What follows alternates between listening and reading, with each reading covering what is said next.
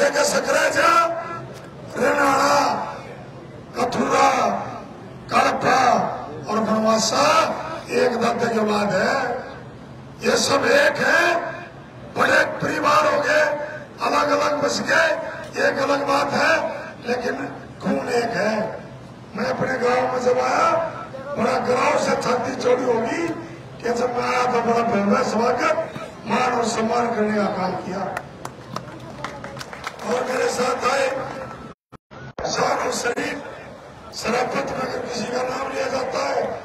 विधायक को चाहे पूर्व विधायक पदम सिंह जी, डॉक्टर सुशील शर्मा जी, जो सतपाल जी ब्रह्मचारी के भाई हैं, कुलदीप गंगाड़ा जी, डॉक्टर जोगेंद्र मौर्य जी, सुरेंद्र गौड़ जी, सतपाल सागवान जी घुटाना जनता के प्रधान अनुज रठवाल जी, वेद मिलक जी रेखा मिलक जी, रमेश हुड्डा जी, पूरा सरपंच रमेश छपरा जी, सरपंच टिंकू आवड़े जी, सरपंच पप्पू भावड़ जी, सरपंच सुनील पासवान जी, आशीष रठवाल जी, मनोज जलधर जी, और मेरे कतूरा गाँव के मेरे बहुत ही आदरणीय मेरे तो पिता के सम्मान है रिटायर्ड प्रिंसिपल भी पूर्व सरपंच भी, धर्मपाल जी नरवाल जी, इंदर सिंह जी खेतू जी धर्मपाल करसन बड़े भाई Karsan Bali Sinha ji Chandra Jaldhar ji master Wazir ji Shipu Pradhan ji Chand Palwan ji master Raj Singh ji Sunil member ji Anand Gauda ji जसा धर्मवीर जी नवाब नवाब जी मनोज नाई जी काला जी राजेश और गोलू की जोड़ी काला जी, जगदीश, वमिता जी, समुंदर जी रमेश पहलवान जी, पंडित दौड़ा जी, रोहतास पहलवान जी, पंडित पान जी, पंडित नेताराम जी व मेरे मेरे कथुरा गाँव के राजू और सरपंच है, छोटा भाई मदीना और भाई कोई गलती कोई बात नहीं सारे घर के बैठे हैं। पूरे जगह तो कोई कल नहीं बनता। मेरे बहुत ही। आदरणीय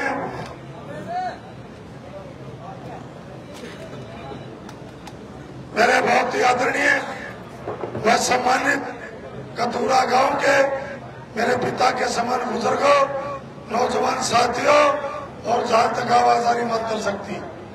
आज मैं यहाँ घर पर आया हूँ। अपने परिवार में आया हूँ, गाँव में आया हूँ, यहाँ कोई राजनीतिक बात नहीं करूँगा। मेरे से पहले चाहे पूर्व विधायक पदम सिंह दैया जी हो, डॉक्टर साहब हो, कुलदीप गंगाड़ा जी हो, विस्तार से सारी बात बता दी। लेकिन मैं एक बात कहना चाहूँगा कि आज मैं जब कथुरा गाँव में मेरे पिता समान बुज़ुर्ग भी बैठे हैं भाई, जहाँ तक आवाज़ जा रही सबको कहना चाहूँगा कि मैं इस गाँव का बेटा हूँ। मेरा में कोई भी फ़र्क नहीं बनना एक खून है ये बांगड़ी दे भाई। जको जक कथुरा गाँव में बैठे हो, अल्लाह में चले जाइयो। डीएनए एक है। हो सकती है। तो आपने कई तरह की बातें, परंपरा जागा के गाँव की बात है। नहीं तो फलावनी। और लेकिन कथुरा गाँव के सभी पिता तो लोग बुज़ुर्गों को, नौजवान साथियों को एक बात भी कहना चाहूँगा कि आप दोनों भाइयों को तुलना कर लियो। जो सही रेल की टिकट ले रहे हो ना, जिसका सटन ठिकाना वो, उसकी वोट दे दी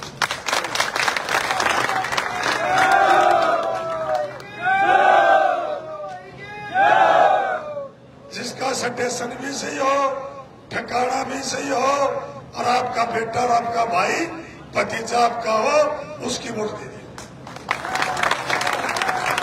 मेरे बड़े भाई ने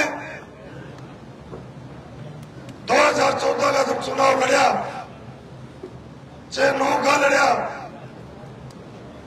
तो मैं आपको कहना चाहूँगा कि रेनाड़ा गाँव उसका गाँव है, उसका घर है जब नाना गाँव में गया तो उसने एक बात कही थी कि अच्छा बालू ही कांग्रेस टिकट दिंदी हो तो मात से बैठ जाऊँगा। आज जब कांग्रेस ने टिकट दी, हल्का बड़ौदा की छत्तीस बिरादरी ने, कथुरा गाँव ने विधानसभा में भेजने का काम किया तो आज भी ये मालूम है। आज कौन सा दर्द हो गया? अब जो मेरे खिलाफ इलेक्शन लड़ गया आप सब समझदार हो आप सारी बातों को समझते हो। उस भाई की भी पार नहीं बसाई। मजबूर कर दिया। कई तरह के षड्यंत्र रचे गए। कई तरह के चार साची रची गई और वो भाई भावुक हो गया। उसका समझ में नहीं आती लेकिन आप ना हाथ जोड़ में विनती करूँगा कि कथुरा गाँव समझियो वो तो बका लिया बहकावे में आ गया और कई तरह की साजिश रची गई। तो मैं आपसे हाथ जोड़ में विनती करूँगा कि आप एक तारीख को, एक एक वोट एक पाँच तारीख को सॉरी पाँच तारीख को एक नंबर बटन, कांग्रेस का निशान दबाने का काम कर दियो। तारा बेटा भाई विधानसभा में हल्का बड़ौदा की और कथुरा गाँव की मजबूती से लड़ाई लड़ेगा